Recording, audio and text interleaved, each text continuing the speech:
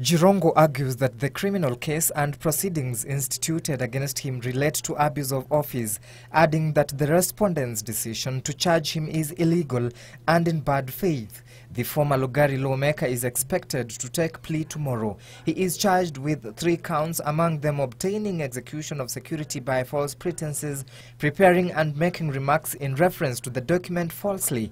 Meanwhile, Laikipia East Member of Parliament Anthony Mutahi has been restrained from subdividing a farmer's land in Nanyuki. The farmer, Stuart Cunningham, moved to the court against the legislator over a 20-acre piece of land.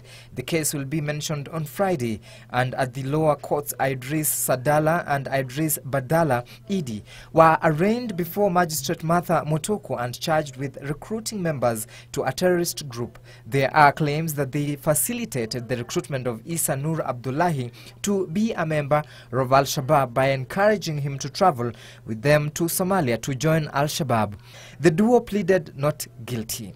And in Naivasha, Kariuki Mujinga, who is a member of County Assembly from the troubled area of Maela in Naivasha, and 24 farmers have been ordered to report to Naivasha Directorate of Criminal Investigations every Friday. Naivasha Chief Magistrate Peter Gesora gave the directive during a case facing the MCA and the farmers over the violence that has rocked the area for the last one week. The violence regarding the control of Ngati Farmers Cooperative Society has seen houses and farm produce belonging to the directors of the land buying company burned or damaged. This came as area MCA and other suspects arrested in connection with the violence were released on 1 million shillings bond after being in custody for a week. Halligan Agade Scales of Justice.